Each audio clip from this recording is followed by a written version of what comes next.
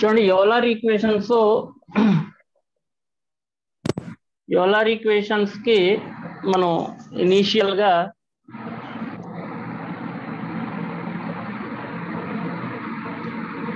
కొన్ని స్టెప్స్ ఉన్నాయమ్మా. అవి ఏంటంటే అంటే ఈక్వేషన్ రాయాలండి. టౌకి ఎల్కి ఈక్వేషన్ రాయాలి. టౌకి ఎల్కి ఈక్వేషన్ ఏంటి? Tau is equal to DL by DT అది ఈక్వేషన్ ఇంకొకటి ఏంటి? నెక్స్ట్ స్టెప్లో మనం చేయాల్సింది నాన్ ఎనర్షియల్ బాడీకి నాన్ ఎనర్షియల్ బాడీకి ఎనర్షియల్కి. కోఆర్డినేట్స్కి రిలేషన్ ఓకే ఒక ఈక్వేషన్ ఉన్నది. దాన్ని హంగ్రీ ఈక్వేషన్ అని అంటాం. హంగ్రీ ఆపరేటర్ అని చెప్పాం d by dL d by dt of space equal to d by dt of body plus omega cross into body అని చెప్పాం. అది హంగ్రీ ఆపరేటర్ ఆ హంగ్రీ ఆపరేటర్ ఎందుకు ఉపయోగపడుతుంది అంటే బాడీ నుంచి మనం దేనికి మార్చుకోవచ్చు?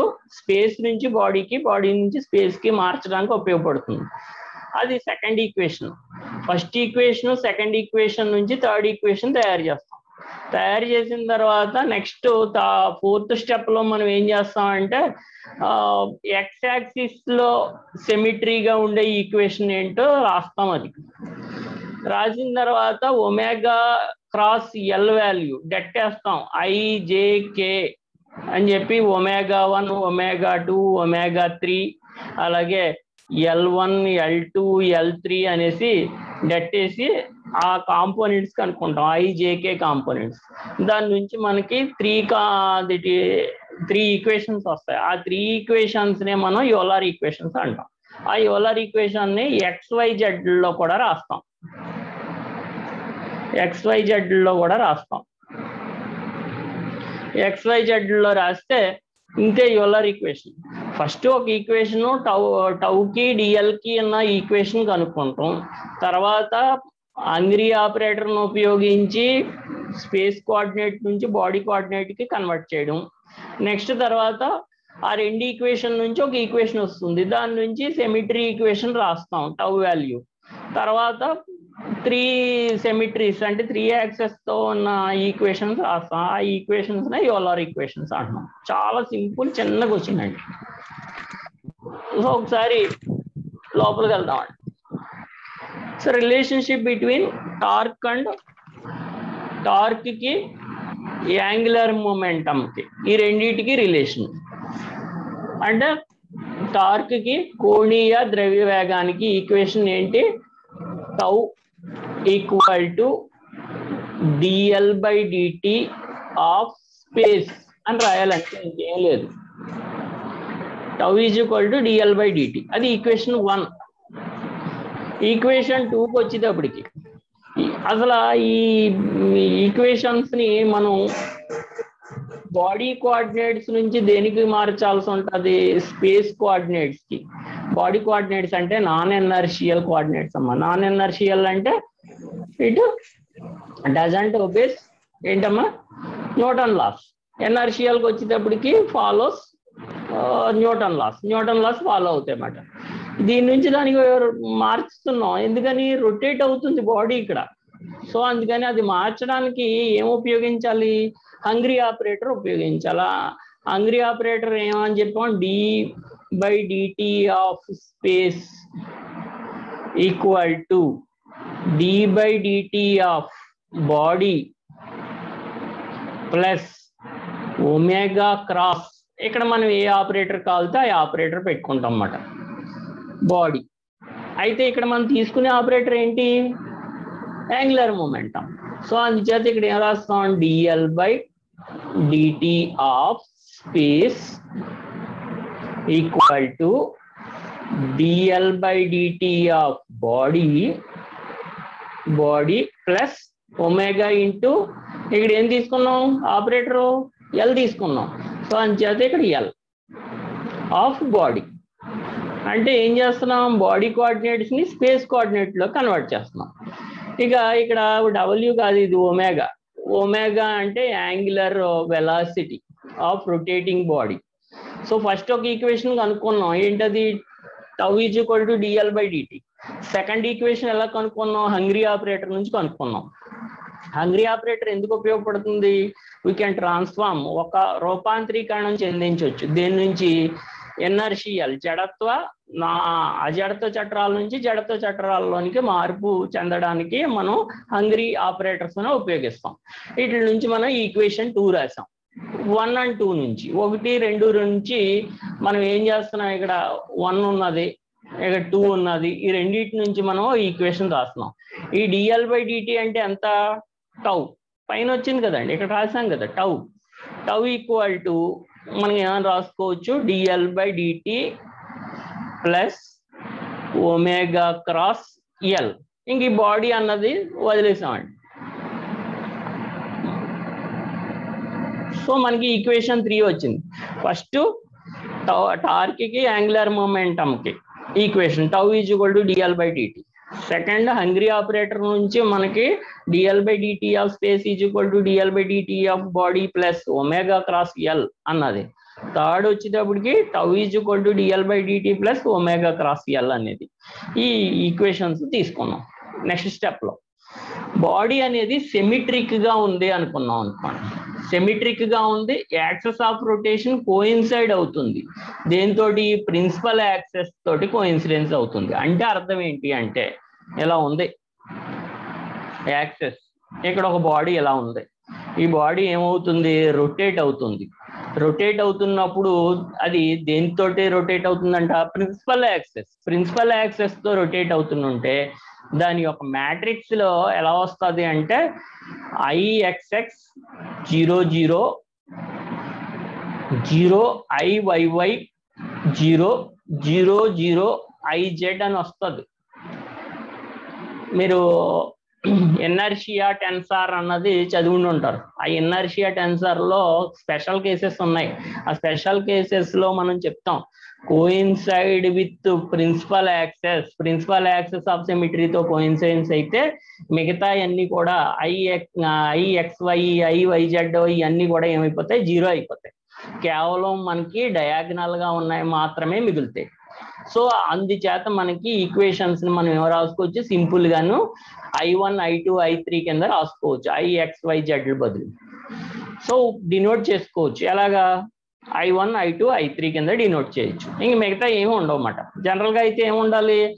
ఐ వన్ టూ ఉండాలి. ఐ టూ వన్ ఉండాలి. ఐ త్రీ వన్ ఉండాలి. అన్నీ ఉండాలి. అవన్నీ ఉండవు. ఎన్ఆర్షియా టెన్సర్లు అన్నీ ఉండవు. ఎందుకని? యాక్సెస్ ఏమవుతుంది ఇక్కడ? యాక్సెస్ కోయిన్సైడ్ అవుతుంది. దేంతో ఏకీభవిస్తుంది. ప్రధాన అక్షాలతోటి ఏకీభవిస్తుంది. అందుచేత మనం ఏం తీసుకుంటున్నాం? వన్ టూ త్రీలు తీసుకుంటున్నాం. ఇప్పుడు ఈక్వేషన్ని ఎక్స్ యాక్సిస్కి equation.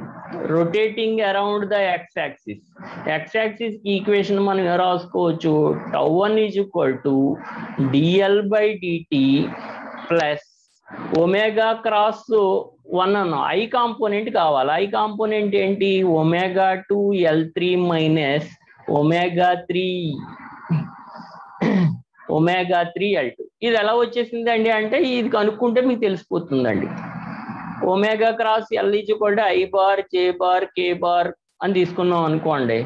ఇక్కడ omega one omega two omega three అలాగే ఇక్కడ L one L two L three అలా తీసుకున్నాం. దీంట్లో ఈక్వేషన్స్ నుంచి ఐ ఈక్వల్ టు ఏమవుతుంది? Omega two into L three omega two into L three అలాగే omega three into L three omega three into L three plus రాసామంటే మనం ఏం చేయాలి? Reverse తీసుకోవాలి. ఇలా తీసుకోకూడదు? అందుకే రివర్స్ రివర్స్ అంటే ఒమేగా త్రీ నుంచి రాసుకోవాలి. ఒమేగా త్రీ ఎల్ వన్ అలాగే omega one L three minus omega one L three. ఇది రబ్ చేస్తానండి చివరి ఉన్నది. Diagram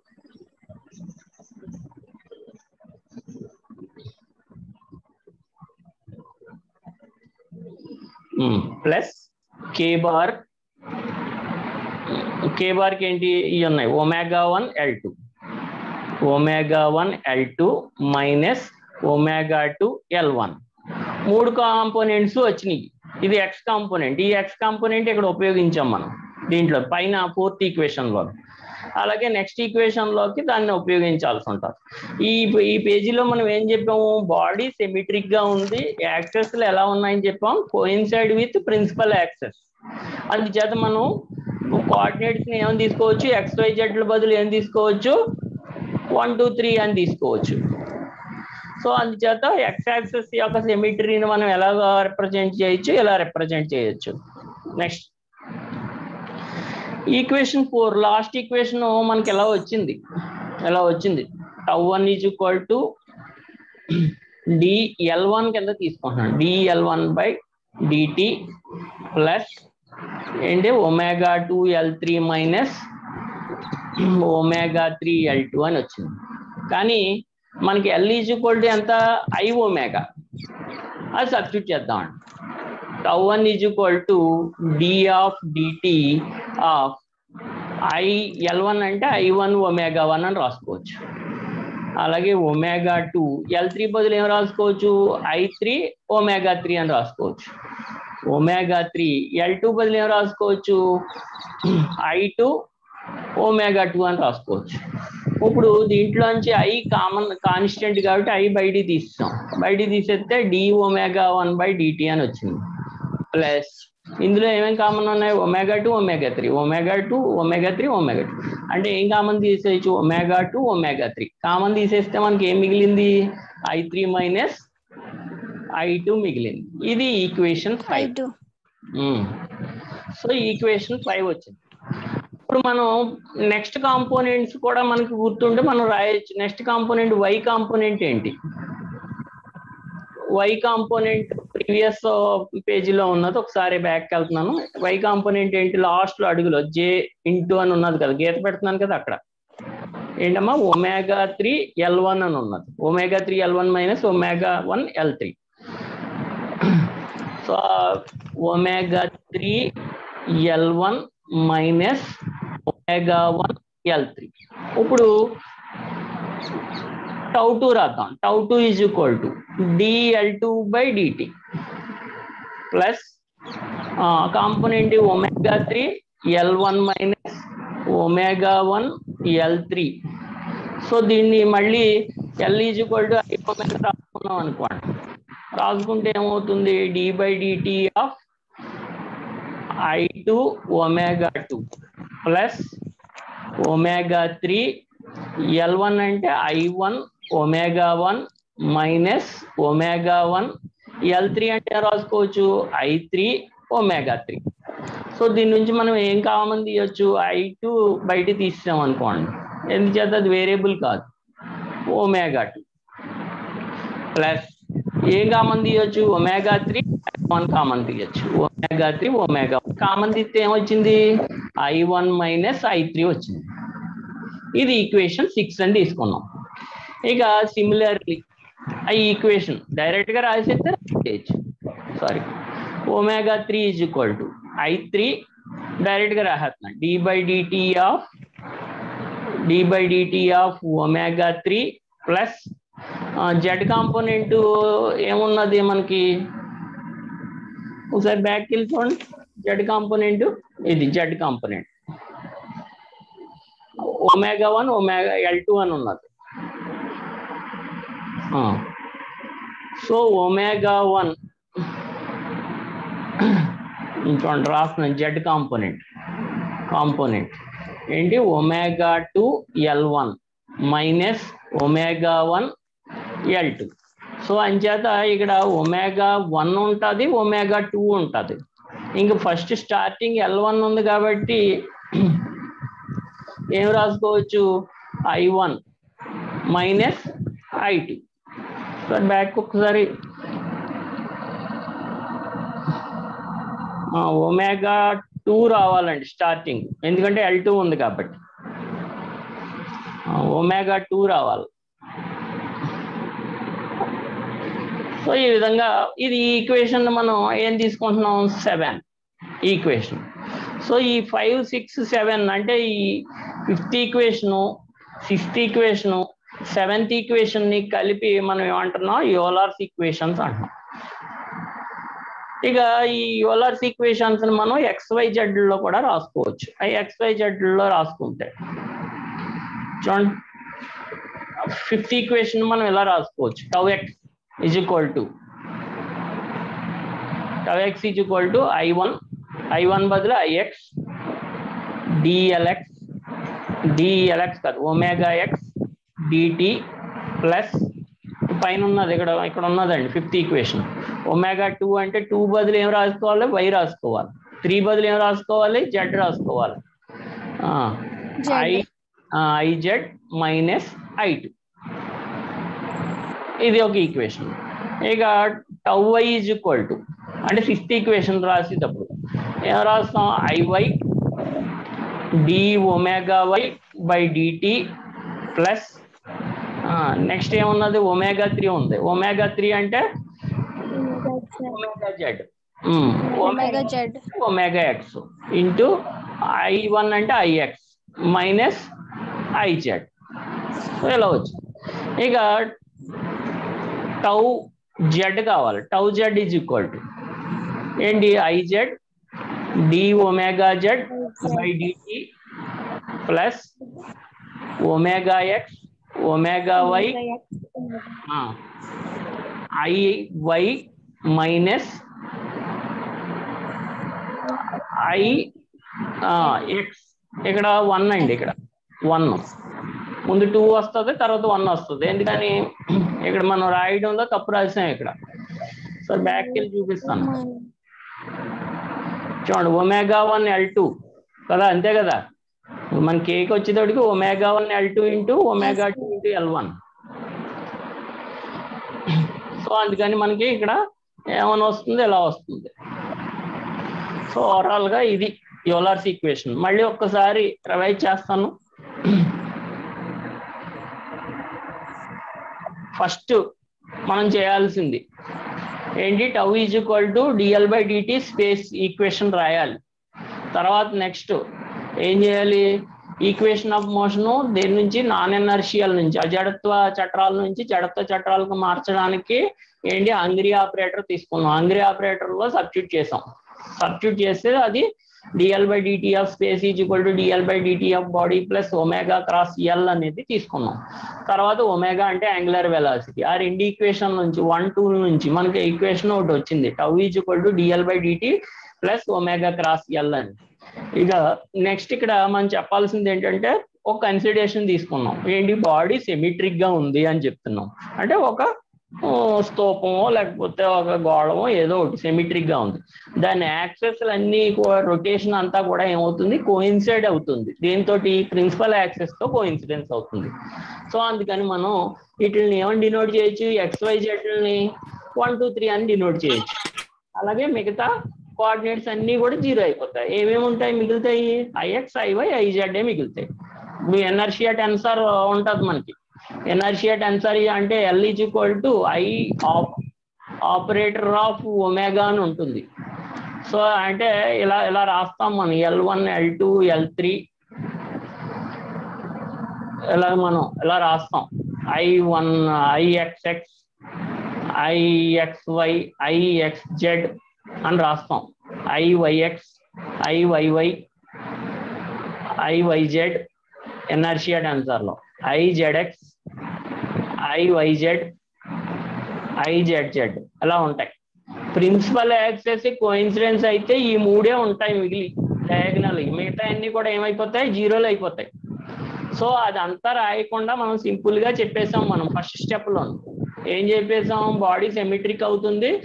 అలాగే యాక్సెస్ ఆఫ్ రొటేషన్ కోఇన్సిడెంట్ అవుతుంది. ఏకీభవిస్తుంది ఏంటి? ప్రధాన అక్షము యొక్క వాటితోటి ఏకీభవిస్తుంది అని చెప్పేసాం అందుచేత బాడీ యొక్క యాక్సెస్లో ఏమని తీసుకోవచ్చు? వన్ టూ త్రీ అని తీసేసుకోవచ్చు అని చెప్తున్నాం. ఇక రొటేటింగ్ బాడీ ఎక్స్ యాక్సిస్తో సెమిట్రీ అవుతుందంటే equation tau one is equal to DL by DL one అని రాసేయచ్చు డిఎల్ బై అని రాసేయచ్చు.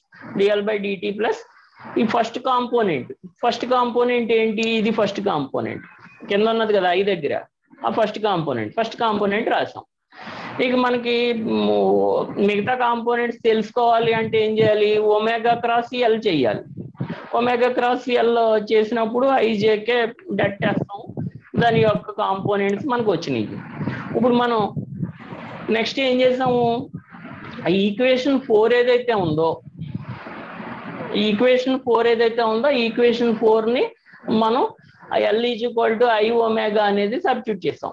I L to I omega substitute చేస్తే మనకి ఫైనల్గా మనకి ఇక్కడ ఎల్ వన్ బదులు I one omega one L three బదులు I three omega three L two బదులు I two omega two substitute చేస్తాం.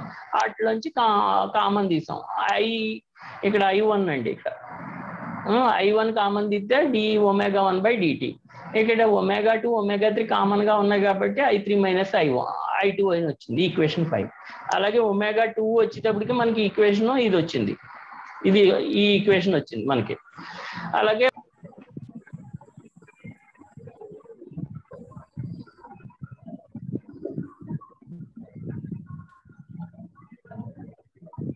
అమ్మా మధ్యలో కనెక్షన్ ఏమైనా కట్ అవుతుందా? కట్ అయిపోయిందా?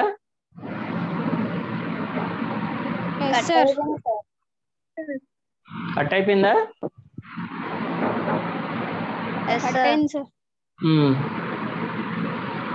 సో ఒకసారి అయిపోయింది కదా రివిజన్లో కట్ అయినట్టున్నది మీకు ఆ? అమ్మా అంతేనా లాస్ట్లో రీజన్ ఆ, yes sir okay next screen ఒకసారి ఈక్వేషన్ ఆఫ్ మోషన్ కూడా ఒకసారి సింపుల్గా చెప్పేస్తాను. మీరు ఒకసారి ఇంటి దగ్గర చూసుకోండి. సరే సార్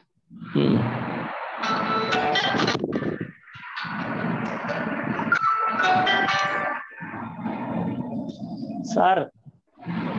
ఇంకా మీటింగ్ ఇంకా ఉందండి. అంటే నాది పని చేయలేదు ఫస్ట్ ఇందాక.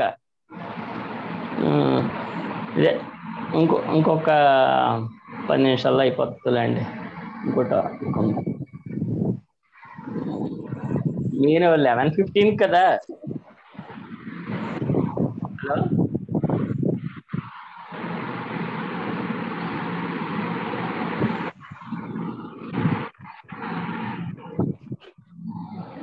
అమ్మ కనిపిస్తుందా? సార్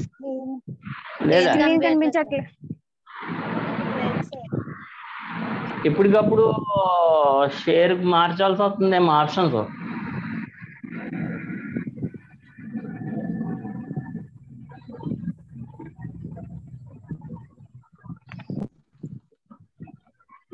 బాగానే ఉన్నాయి ఆప్షన్స్. స్క్రీనే షేర్ చేద్దాం పోనీ.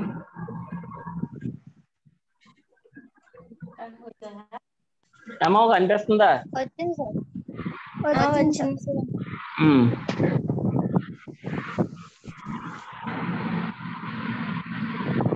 చూడండి ఇప్పుడు ఈక్వేషన్ ఆఫ్ మోషన్.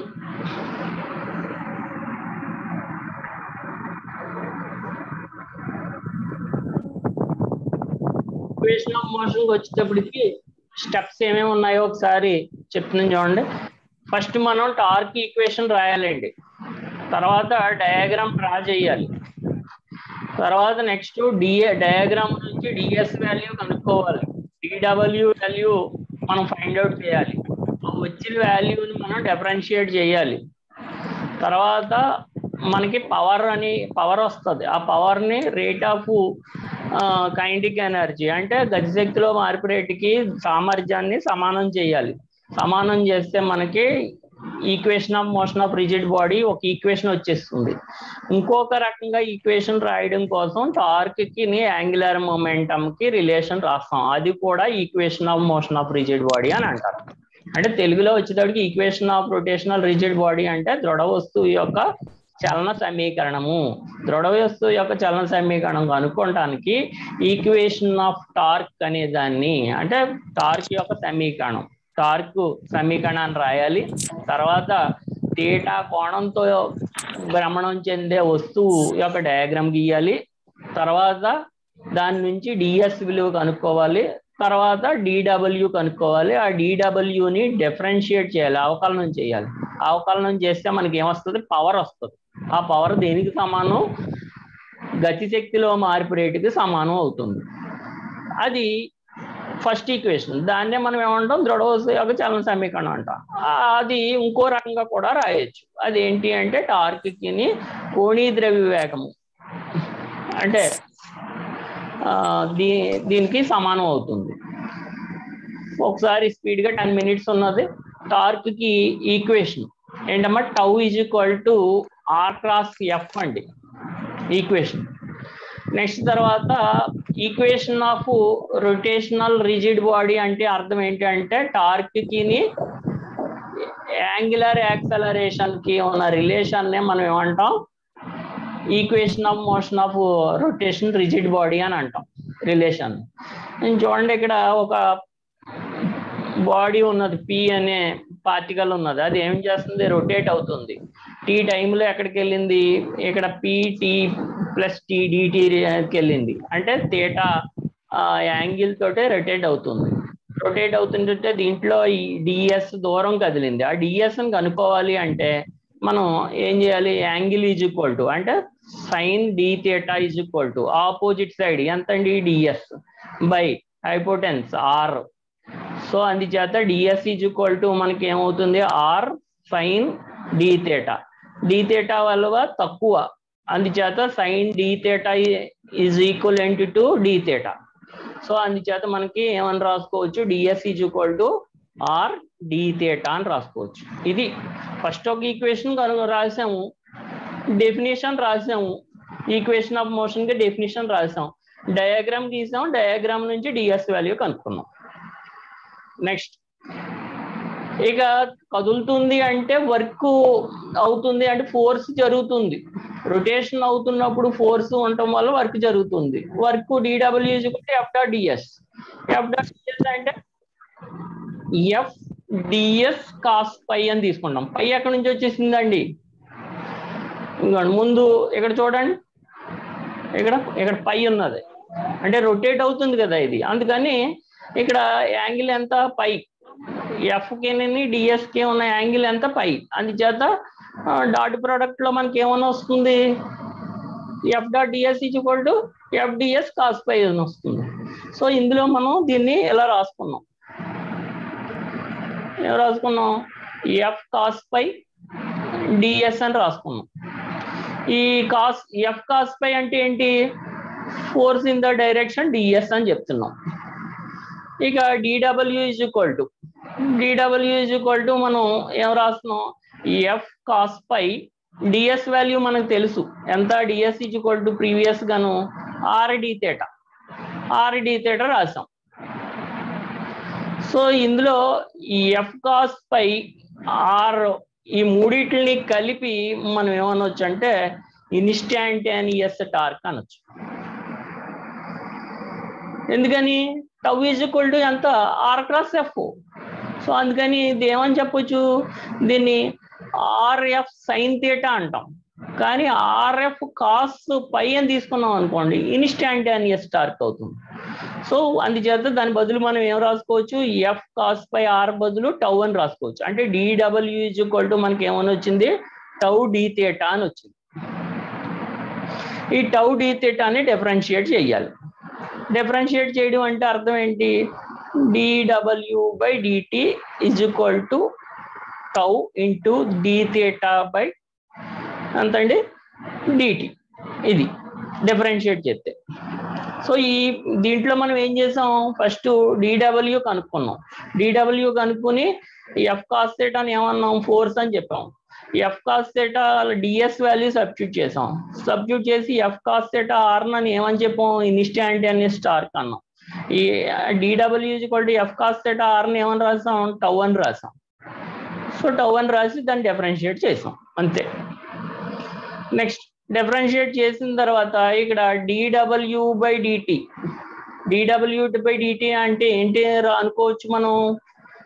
పవర్ అవుతుందమ్మా. అంటే పనిలో మార్పు rate.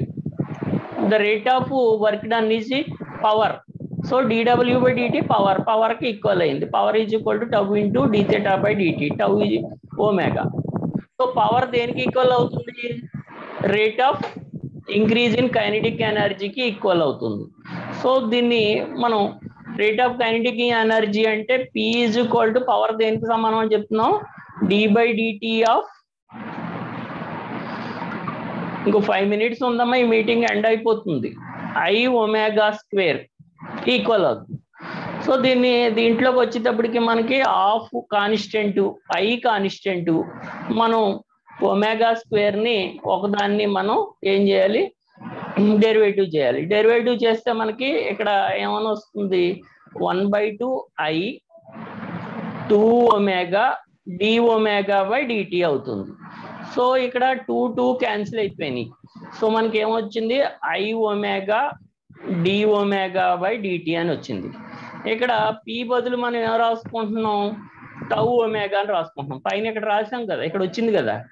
సో ఈ ఒమేగా ఒమేగా క్యాన్సిల్ అయిపోయింది సో అంచేత మనకి టౌ ఈజ్ ఈక్వల్ ఏమని వచ్చింది? I d omega by dt అని వచ్చింది. అంటే అర్థం ఏంటి? ఐ ఆల్ఫా అని అర్థం. అంటే టౌ వాల్యూ ఎంత వచ్చింది? ఐ ఆల్ఫా అని వచ్చింది. సో ఈ ఈక్వేషన్ని ఏమంటున్నాం equation of motion of rigid body అంటున్నాం. అమ్మా ఇది సో మనం జాగ్రత్తగా ఫస్ట్ డిఎస్ వాల్యూ కనుక్కోవాలి డిడబ్ల్యూ వాల్యూ కనుక్కోవాలి దాన్ని డిఫరెన్షియేట్ చేయాలి డిఫరెన్షియేట్ చేసి పవర్ని రేట్ ఆఫ్ ఇంక్రీజ్కి ఈక్వల్ చేయాలి ఈక్వల్ చేస్తే టవ్ ఈజ్ కూడా ఈ ఆల్ఫా వస్తుంది. అదే equation of motion of rigid body so ఇంకొక ఈక్వేషన్ ఉంది. L is equal to I omega దీన్ని డిఫరెన్షియేట్ చేసాం అనుకోండి. Dl by dt is equal to I into d omega by dt అవుతుంది. Dl by dt equal to I into omega omega అంటే alpha so tau is equal to ఎంత? I alpha so అందుచేత మనకి dl by dt is equal to ఎంత వచ్చింది? Tau అని వచ్చింది. దీన్నే మనం ఏమంటున్నాం? ఈక్వేషన్ ఆఫ్ మోషన్ అని అంటున్నాం. ఇంకొక ఈక్వేషన్ ఇది. సెకండ్ ఈక్వేషన్ చాలా ఈజీ క్వశ్చన్లు అండి రెండు క్వశ్చన్లు ఏమా సో షేరింగ్ ఆఫ్ చేస్తున్నాను. అంటే ఇంక టైం దగ్గరికి వచ్చేసింది.